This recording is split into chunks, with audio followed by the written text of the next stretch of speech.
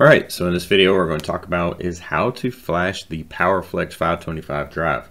Now there's multiple reasons for doing this. Um, one, you could be upgrading your system. Two, you could be trying to uh, firmware match your system, you know, like your PLC file with your actual drive itself.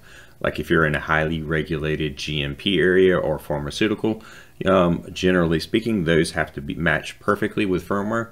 Now, when it comes down to it though, um, this you could be just be upgrading your system to be more compatible. Um, just make sure you understand that right here you can right click inside of RSLinx and see what firmware you are currently at. Uh, in this case we are version 7.1 which is the latest version of this actual um, PowerFlex drive and to verify that what we can do is we can go to the website.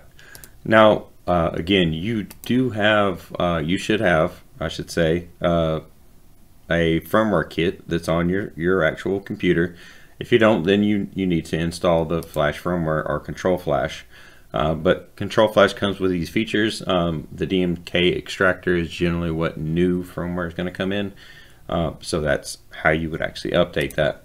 So let's go ahead and go to the website and show you how to navigate that. So first, when you're going to go to rockwell.com or rockwellautomation.com, go to downloads and then right here you're going to type in PowerFlex.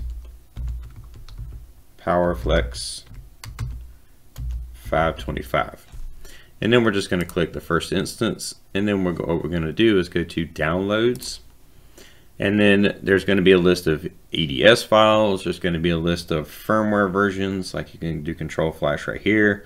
If you do not have control flash you can go ahead and get that uh, installed that way. Um, and then you can come down here and see the latest versions. Also, click the next button if there's another page because there might be the firmware that you, are looking for there. Again, there's 5.2, 6.1, uh, 7.0. We do have the 7.0 right here, uh, so then you can easily see that. We can just go to download. And what that does is it opens up a page where we can actually scroll this down and pick which firmware we want to use. So if we wanted this file, we can see, like if we wanted 5.2, we could easily see, select these files, and you get uh, all the files that you, you need to do for that specific version. In our case, we're going to do 7.1 because that's what we're on already, and that is the latest version that Rockwell offers for this specific drive. Now, I'm just going to do the firmware for the PowerFlex 525, and you can see that the bottom one is the one I checked. The EDS files, if you need the EDS files, you can, again, download those here. Um, if you need to update your CCW, you can do that here. Um, the add-on profile. Now, I'm not going to download this right now, but I want, I want you to understand what the add-on profile is. If you're inside of your ControlLogix um, and you're looking in your IO tree and you go to open up a drive and it will not open up then you need you need to upgrade your AOP for that that specific um, you know that specific computer or whatever the case may be or because that, that computer does not have the correct AOP so it doesn't have the correct add-on profile for you to open the drive. The add-on profile is what's used to edit and, and look at the drive while you're inside the PLC file. Now again, uh, I'm not going to do that because uh, uploading that does take several hours, or not uploading it, but installing that does take several hours. So we're just going to download the firmware. This is going to come over here. It's going to give us a download that's going to pop up under a Rockwell Download Manager. Okay, but you need to accept the download, accept the terms and conditions for the download. Um, and then you're going to come over here, go, go to folders. I like to refresh and then I'm going to open this up. You can see the latest. I like to go by date modified. And then we want to close out any ones that we already had. So open this up and then it should pop open and then it will start the download as the actual download manager opens and connects to the internet. Um, in this case, I, I think I had already downloaded it, so let's go ahead and, and do that instance again. Let's just go ahead and delete these two. So let's delete these two and do that firmware download again. just so we can make sure that it's very visible that you see exact the exact process of that. Okay, so again, accept and download. And then once we get there, we come over here to downloads. We want to go to our folder, make sure that that is the current one we're opening. We open it up. It starts the download process again once it connects to the actual, just like it did. And as soon as it downloads it, it generally opens a folder. Um, and that's going to be in the path of uh, generally your C drive is where the the download manager puts the the folder, um, which is called RA, right? And that's going to be anything that you download from the Rockwell website. Now, it doesn't point to where you need to be, so it could point anywhere in here. And you see, I have a lot of things in here, so I like to sort by date. I like to sort by date, and you can see I have my firmware, my DMK right here, my, my firmware.dmk. And I'm going to copy that. I'm going to copy that DMK and then I'm going to take that to my VM. So with that said, I'm going to open up my VM and then I'm going to come over here and paste that in here. Now that pasted on my desktop. So what I'm going to do is open up firmware flash or control flash which is under Flash Programs Tools, DMK Extractor. Then we're going to come over here. This is if you do not have the firmware that you need, right? You need to go to select it. So just in case, this is just showing you the full process. Now, it does take a second for the DMK extractor to open. It does take a second for the DMK extractor to actually navigate to where you tell it to as well. So don't expect that to be really quick. And I don't currently see it. I thought it would have popped up by now, but let's go ahead and do that again. And open location. Verify that it does open. Again, it's not the fastest thing in the world, so just be patient with it and just understand that it will pop up. And we're going to go ahead and pause. There we go. So uh, what we want to do is browse to the location, which is the desktop, and then we come over here and it will, it should take some time to find it, but once it finds it, you can extract it and then it adds it to the your ability to flash that firmware from a control flash. So next we're going to open up the control flash and flash the firmware to this drive. And again, that's 7.1. The drive is already 7.1, so again, when it comes down to it, I'm just showing you the process of actually how to get there.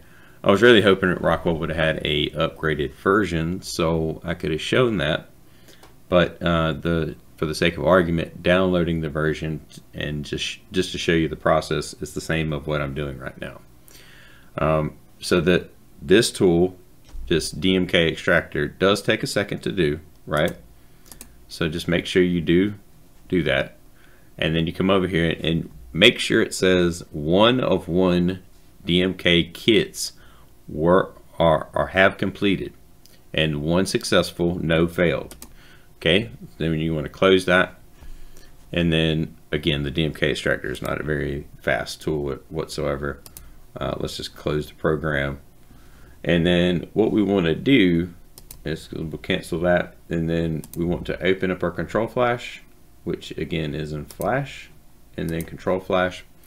Control flash again is not very uh, fast as well.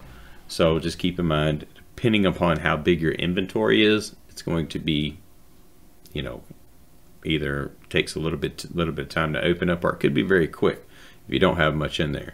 So just just keep that in mind. Um, for the sake of argument, mine does have a, quite a bit in there, so we're gonna we're gonna go in here and select the proper things. So we'll come in here and we'll look for our PowerFlex 525 drive. Okay, so you have many, many different things.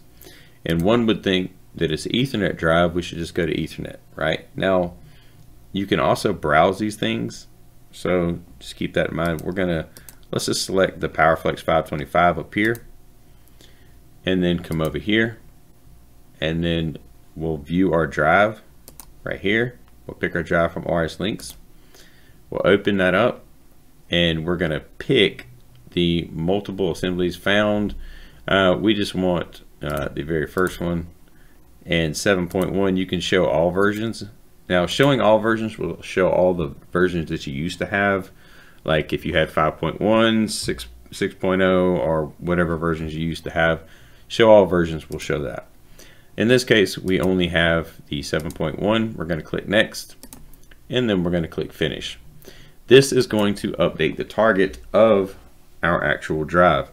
So even though my drive is already 7.001, let's just say for the sake of argument that I flashed it and it didn't take the first time.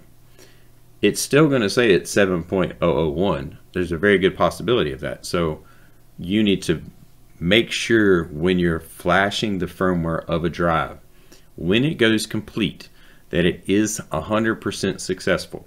Okay, there is no question about you know, like it, it dropped connection or it failed to do this or it failed to do that. If it does, you need to make sure that you downloaded or you you try to flash the firmware again to that. And sometimes you have to default the device for that. So if it does fail and so you don't lose connection or you lose connection for some reason through RSLinx, just go into the drive itself and default the drive with the, the actual front of the drive, you can actually go through and go through the parameters and then default the drive back to its original state. That will be out of box. So just keep in mind, you will lose all your parameters, but it, when you're flashing a firmware anyway, you're losing everything anyway. So you might as well go ahead and just have a backup of everything before you start this process. Now I'm going to let this finish again when it comes down to it and we'll let this finish and, and not and as soon as we do we'll see the finished product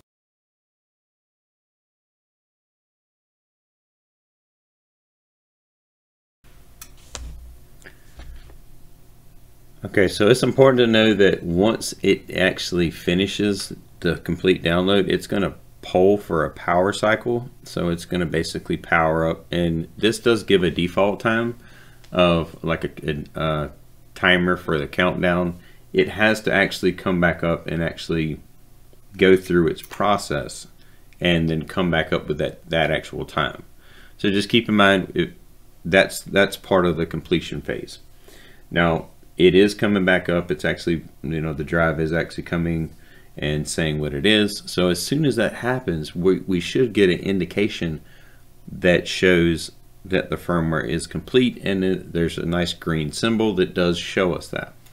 Now again, um, we're waiting on it to finish the poll and the check and the and the, make sure everything is 100% correct. You can see that the time does change somewhat of the time, but you can see right here is where we were looking for. And then you can see a nice green indication that the firmware was complete and it was successful.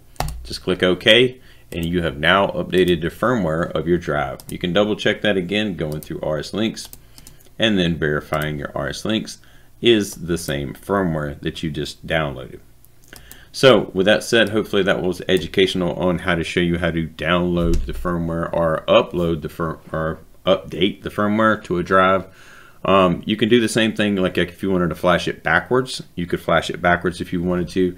But again, when it comes down to it, it depends on your situation, right? Are you in one of those pharmaceutical things that is highly regulated, or are you trying to push forth and make the drive more compatible with, say, you know, like a different uh, AOP or a different uh, software?